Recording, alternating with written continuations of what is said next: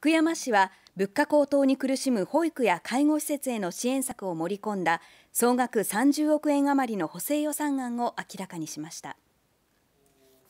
福山市はおよそ30億円余りの一般会計補正予算案のうち2億4800万円余りを物価高騰に苦しむ施設への支援金に充てます。対象は福山市内の保育所や介護サービス事業所など合わせておよそ2000施設。保育施設には最大30万円介護サービス事業所などには最大40万円支給します。またバスやタクシーなどの公共交通事業者へおよそ4000万円で燃料費の一部を補助します。この補正予算案は来月5日に開会する9月定例会に提案します。